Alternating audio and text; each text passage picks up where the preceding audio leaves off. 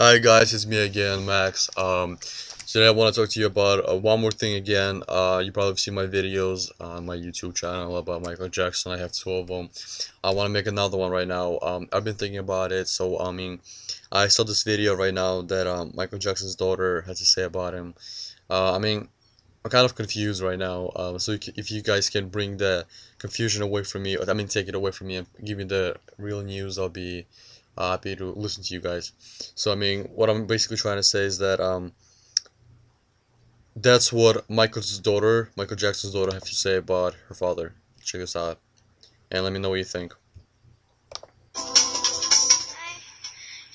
That's his daughter. Ever since I was born, Daddy has been the best father you could ever imagine.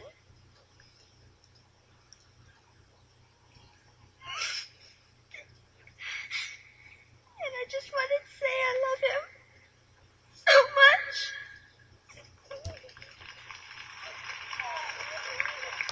Okay, that's all. Um, it wasn't that much. It's just a, a little action of his daughter. Um, so what I'm confused about is there can be two things, right? A lot of us, a lot of us believe that Michael Jackson is alive, right? A lot of us believe that he's dead. Well, if he's alive, right? Then did they tell his daughter just say that in front of millions of people?